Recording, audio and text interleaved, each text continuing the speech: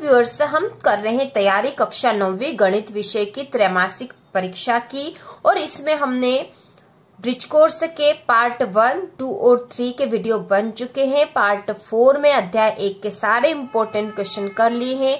आज हम इस वीडियो में अध्याय दो, आपका गणित विषय का त्रैमासिक एग्ज़ाम में आएगा, उसकी तैयारी कर रहे हैं। तो अध्याय दो दशमलव एक में कुछ प्रश्न ऐसे हैं जो हम मौखिक रूप से ही कर सकते हैं और बहुत ही आसान है। ये प्रश्न आपके ऑब्जेक्टिव क्वेश्चन में आ सकते हैं एक एक नंबर में। तो इनको हम देख लेते हैं, आप इनको देखते से ही आपको ये समझ में आ जाएँगे। तो यहाँ पे प्रश्न है, निम्नलिखित में से प्रत्येक में एक्स वर्ग का गुणांक लिखिए। तो एक्स वर्ग का गुणांक लिखना है। तो एक्स वर्ग वाली जहाँ पे भी लिखा, ये जैसे पहले प्रश्न में एक्स वर्ग यहाँ पे है तो इसका गुणांक मतलब इसके साथ गुणा में कौन सी संख्या है?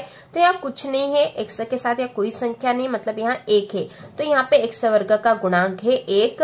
इसी प्रकार यहाँ पे भी एक्स वर्ग है और इसके साथ भी कोई संख्या नहीं मतलब एक है, लेकिन ये ऋण का है तो यहाँ आ जाएगा ऋण का एक।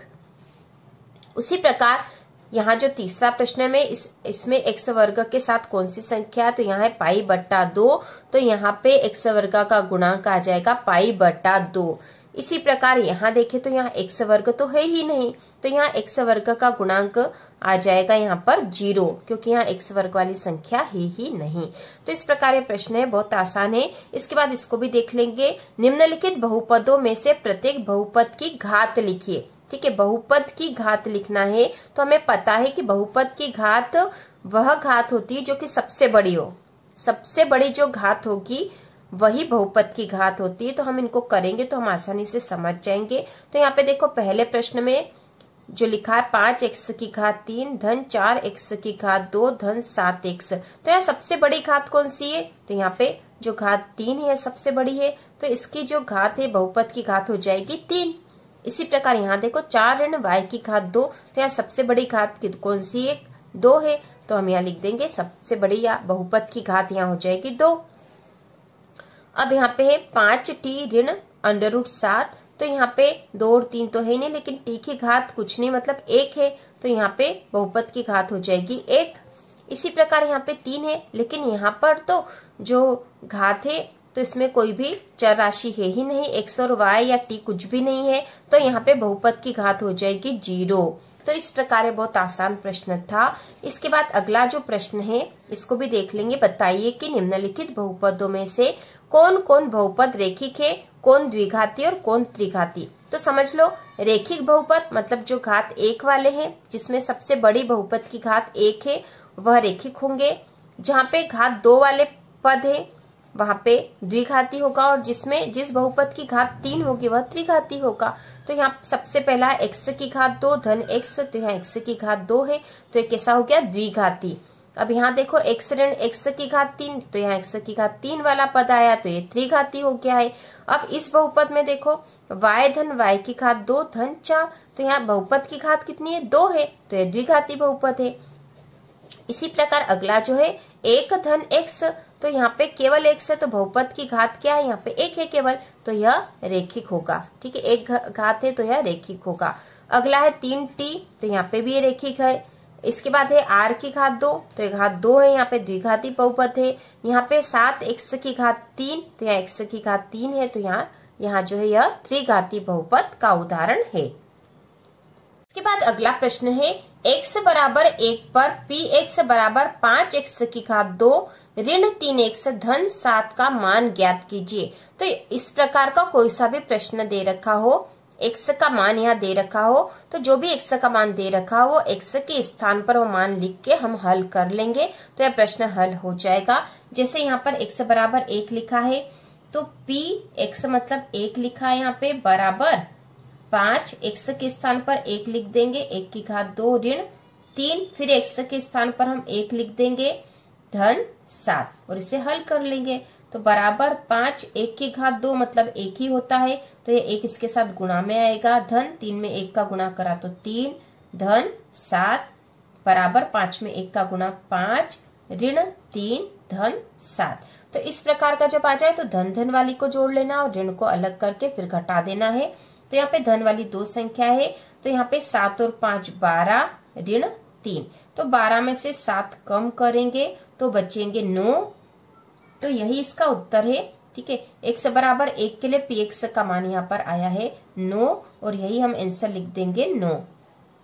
इसके बाद जो अगला प्रश्न है, अध्याय दो का महत्वपूर्ण वह बहुपद पाँच एक्स ऋण, चार एक्स की घात दो, धन तीन के मान ज्ञात कीजिए।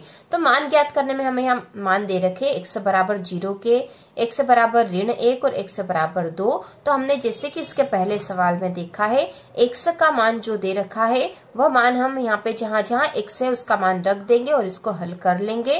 तो यह प्रश्न आसानी से हो जाएगा। जैसे हम यहाँ लिखेंगे, एक्स बराबर ज़ीरो। तो ऐसी स्थिति में जो बहुपद है बहुपद है हमारा पाँच एक्स ऋण, चार एक्स की घात दो, धन तीन। तो इसमें हम इसका मान रख देंगे। तो पाँच एक्स बराबर ज़ीरो तो एक्स की जगह ज़ीरो रख दिया। ऋण, चार एक्स की घात दो है यहाँ पे तो यहाँ पे ज़ीरो की घात दो हो जाएगी। धन तीन।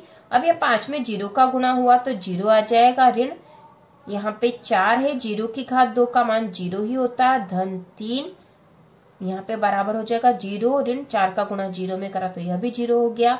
और यह धन तीन तो ज़ीरो, धन ज़ीरो ऋण ज़ीरो, ये हट गए, इसका कोई मतलब नहीं है। तो यहाँ पे आ जाएगा आंसर तीन। ठीक है, धन तीन मतलब तीन ही होता है तो एक्स का मान यदि ज़ीरो रखा तो बहुपद का मान आ जाएगा तीन। तो सबसे पहला आंसर हो जाएगा हमारा आंसर बराबर तीन। एक्स बराबर ज़ीरो के लिए बहुपद का मान है तीन। अब हम अगला निकालेंगे एक्स बराबर ऋण एक तो हम यहाँ लिखेंगे एक्स बराबर ऋण एक। तो यहाँ जो हमारा बहुपद है, इसमें एक्स के स्थान पर हम ऋण एक लिख देंगे। तो यहाँ ऋण एक लिख देंगे, यहाँ पे भी ऋण एक, ठीक है? तो पाँच और एक्स का मान ऋण एक कर दिया। ऋण चार एक्स का मान ऋण एक की घात दो, धन तीन यहाँ हो जाएगा पाँच का ऋण, एक में गुणा करा तो ऋण का पाँच हो गया है। ऋण चार, ऋण एक का वर्ग है मतलब ऋण एक में ऋण एक का गुणा तो ऋण का ऋण में गुणा हुआ तो धन हो जाएगा और एक का एक में गुणा करेंगे तो एक आएगा तो यहाँ माना जाएगा एक धन तीन। बराबर ये ऋण पाँच, चार का एक में गुणा करा तो चार हो गया ऋण का धन तीन। अब ऐसी जब संख्या आती तो ऋण ऋण वाली को हम जोड़ लेंगे और धन धन वाली को जोड़ लेंगे। तो यहाँ पे ऋण पाँच और ऋण चार जुड़ गए तो ऋण के नौ हो गए और ये धन के तीन है ही सही।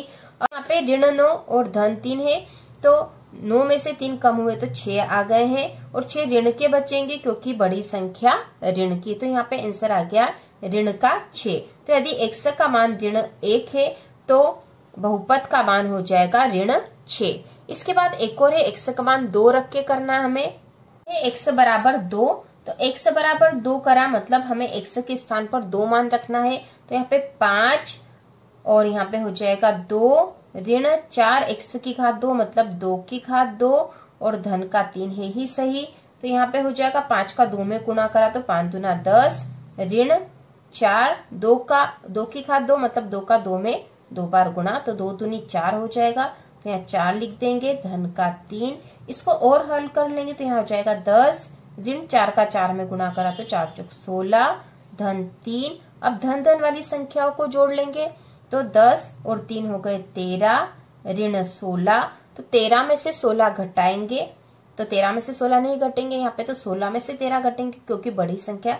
सोलह है तो सोलह में से तेरह कम हुए तो तीन बचे, और ये तीन बचेंगे ऋण के, क्योंकि बड़ी संख्या ऋण की है। तो यहाँ आंसर आ गया ऋण तीन। तो यदि एक्स का मान हम दो रखते हैं तो बहुपद का मान आ जाएगा ऋण का तीन। तो इस प्रकार के यदि प्रश्न आते हैं तो आप आसानी से कर सकते हो। एक्स का मान जो भी दे रखा हो, वह एक्स के स्थान पर मान रख के और उसको हल कर लेंगे। और इस तरह से हमारा उत्तर आ जाएगा। बहुत आसान प्रश्न होते हैं, आप आसानी से कर लोगे और आपको पूरे अंक प्राप्त होंगे।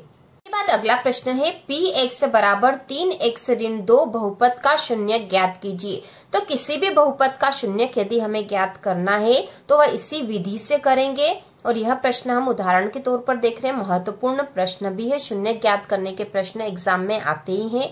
तो इसको हल करेंगे। यहाँ पर पी एक्स बराबर, तीन एक्स ऋण दो मतलब पी एक्स मतलब ज़ीरो, क्योंकि हमें शून्य ज्ञात करना है। बराबर तीन एक्स ऋण दो तो इसका मतलब है कि तीन एक्स ऋण दो बराबर ज़ीरो होना चाहिए तो ही बहुपद का शून्य ज्ञात कर पाएँगे मतलब इसका मान ज़ीरो हो।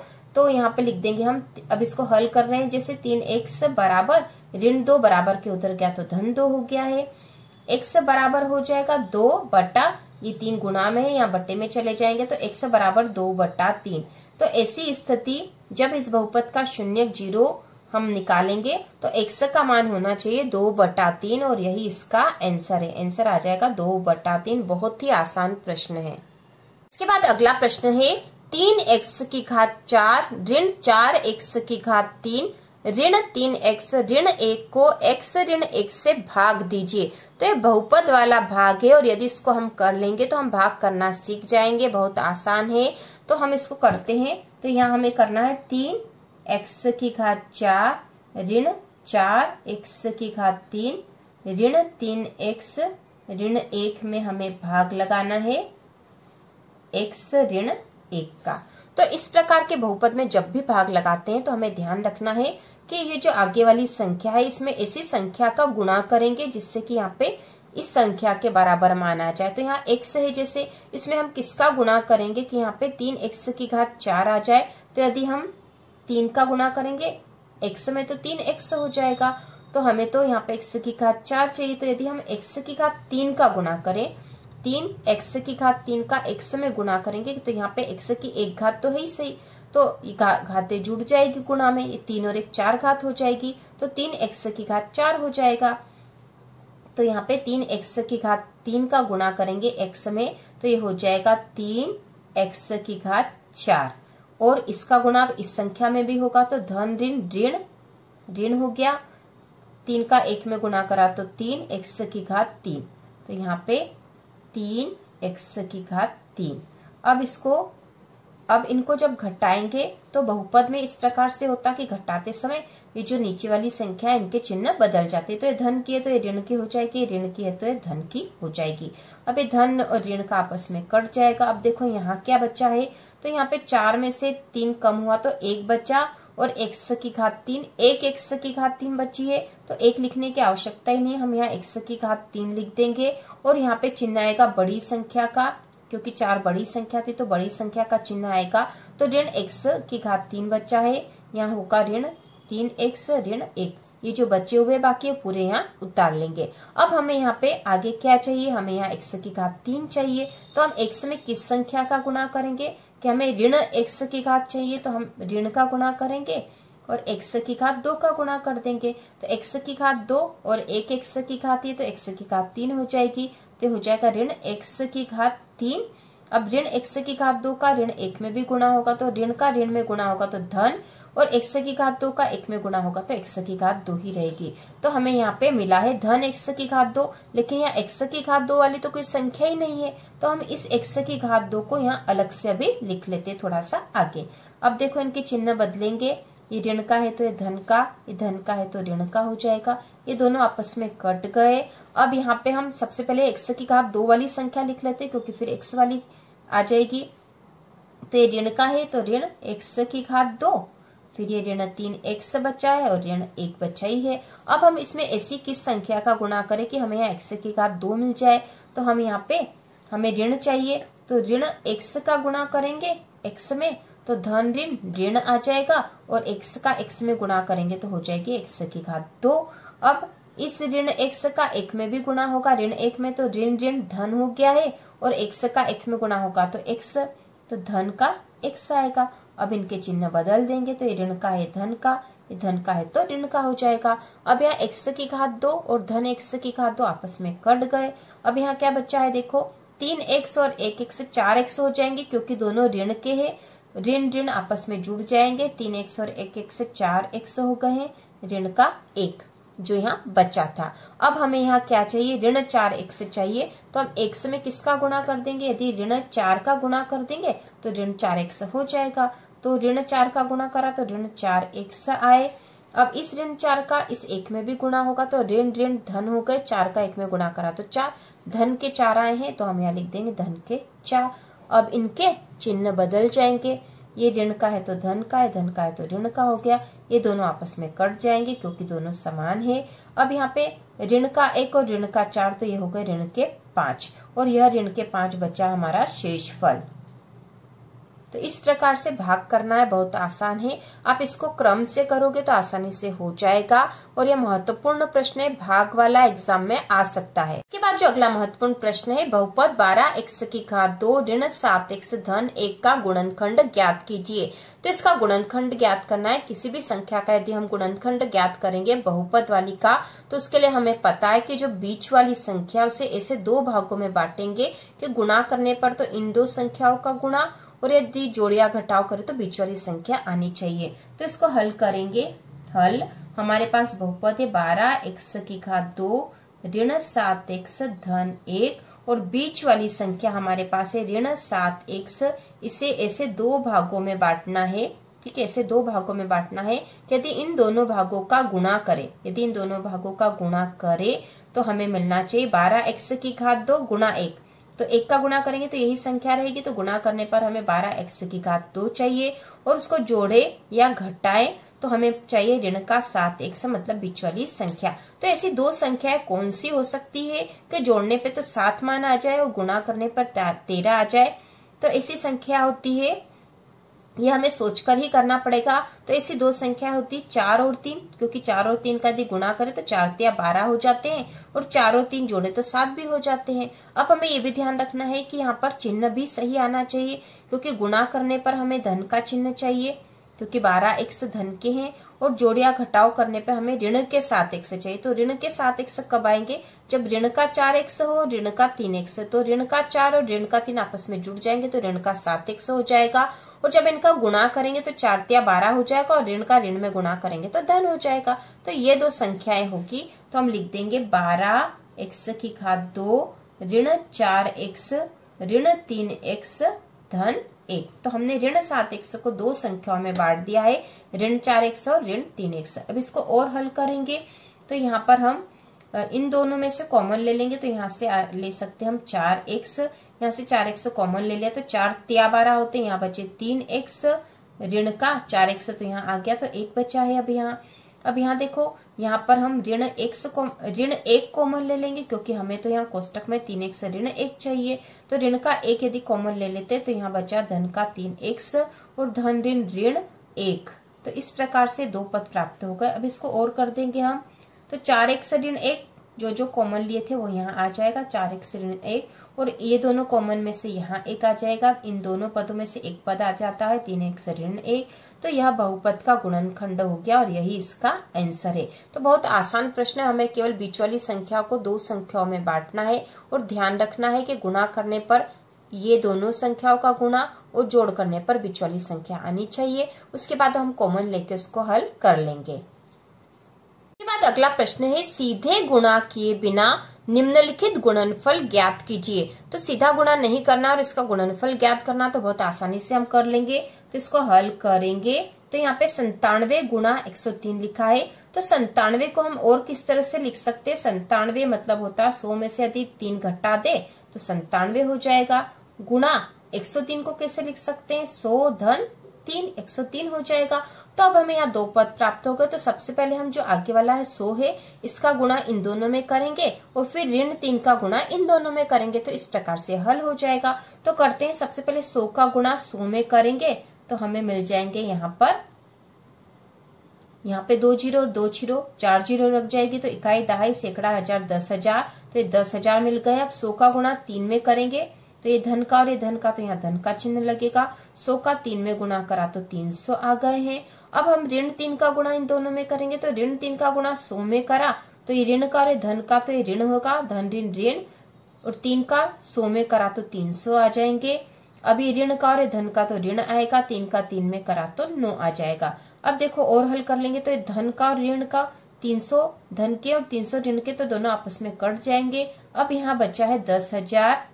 ऋण नौ तो दस हज़ार में से नौ घटा देंगे। तो हम यहीं पर रफ में घटा के भी देख लेते हैं। हम यहीं पे घटा के भी देख लेंगे। तो ये है दस हज़ार, ऋण नौ घटाएँगे। तो यहाँ से उधार लेंगे तो ये दस हो जाएगा। दस में से नौ का तो एक बच्चा यहाँ पे नौ बचेगा, यहाँ नौ बचेगा और यहाँ पे भी नौ बचेगा। तो नौ हज़ार नौ सौ इक्यानवे नौ हज़ार नौ सौ इक्यानवे आ गए हमारे पास और यही इसका आंसर है। बिना हमने गुणनफल सीधा गुणा किए बिना ही इसको हल करा है और यह इसका आंसर आएगा। इस प्रकार हमने अध्याय दो के भी महत्वपूर्ण प्रश्न कर लिए हैं आपके एग्ज़ाम के मान से। तो इस प्रकार आप ब्रिज कोर्स अध्याय एक और अध्याय दो की संपूर्ण तैयारी कर सकते हो। वीडियो देखकर सारी लिंक नीचे डिस्क्रिप्शन में दे रखी है और इसी प्रकार के और वीडियो देखने के लिए चैनल को सब्सक्राइब कीजिए।